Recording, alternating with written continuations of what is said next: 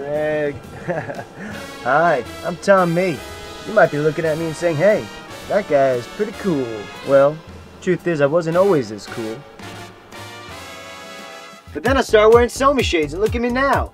Riding in private jets, got stacks of cash, and I have off-screen hands of Hammer Champagne. Thank you. How can SoMee shades offer you the same quality sunglasses at such a lower price? Well, the answer is simple. Puppets. That's right. Puppets make our sunglasses. Now you might be wondering, what do puppets know about making sunglasses? Nothing.